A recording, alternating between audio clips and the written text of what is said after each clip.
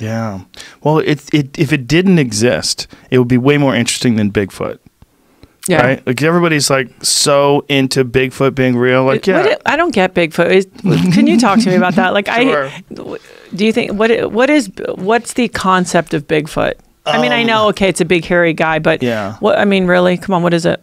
most likely there was interaction between human beings and something called a gigantopithecus for thousands and thousands of years. It's a giant bipedal hominid that existed in Asia that was between eight and ten feet tall. It was real. And it was basically in like the orangutan family. It looks almost orangutan like, but enormous.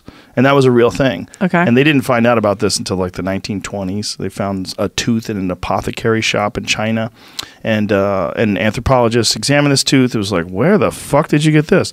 And they they took him to the site and they dug up more things and bones and jaw bones, and they determined from the jawbone. I'm sorry if I'm fucking any of the up, scientists, but they determined from the jawbone that they think it was bipedal, that it stood up on two legs. Mm-hmm. And so then they said, well, how big would this thing be? And then in the proportionate Yeah, like the femur illustra- bone. Or Have you ever seen what one a real one looks like? Yeah, I just sometimes I, I when they say like, oh, up in Michigan, I'm like, is it really like what are they seeing? Bullshit. Most of it is people seeing shadows in the trees and they want to believe it's Bigfoot and they're seeing Yeah. bears that are walking on two legs. But if there was a thing, what's really interesting is that's where it would be. Because if it did come across the, Laring, the, the Bering uh, land bridge, like they believe humans did, if that did happen, the many animals ma- navigated from there to here that way. That's where Alaska and the Pacific Northwest, that would be the, the natural path. And then if you think about how densely wooded that area is, Right. that would be a natural habitat for something that's hiding from people. The problem is you can't really hide from shit anymore. It's just I it's don't think too so. hard. They'd see it from space, Some, right? something would catch you on a trail camera. Some there's trail cameras that are everywhere. They're 4K. Like, did you see those? These a guy and his father got caught poaching a mother bear in her den. It's Ew.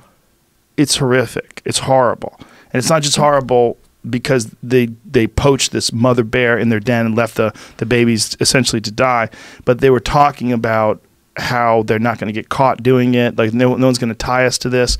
And the way they were caught, there was a 4K camera that was right behind them that was that was observing this this whole area where this mm-hmm. this bear was denned in.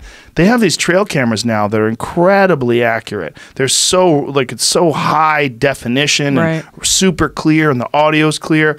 They would catch one of those fucking things. Yeah. If there was something out It there, they would see know. something. But I think there is something to be said for the tooth fairy and thinking we don't know everything. Yeah, like the the, the magic of s- stuff unknown and behind. I I mean, it, for me, it doesn't have to be Bigfoot, but I I love I love the idea that.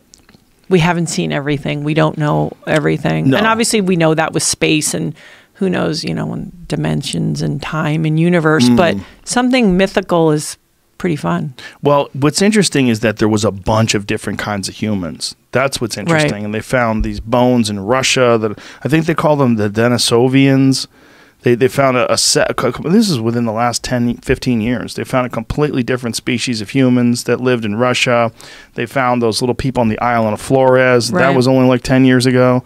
I mean, there's there's probably dozens more that they just haven't uncovered somewhere. So if there was at one point in time some big giant hominid, it's totally possible. Yeah. I just don't think he would have to eat so much to Right, be if you're almost alive 10 today. feet, yeah. To be constantly, it's like a bear. Yeah. Like you find bear shit everywhere. Where's the Where's the gorilla shit? Where's Yeah. the the, the Bigfoot shit? Or whatever it is. Is it eat, Is it eating plants? Is it eating animals? What the fuck is it eating? Right. It's got to Well- eat a lot.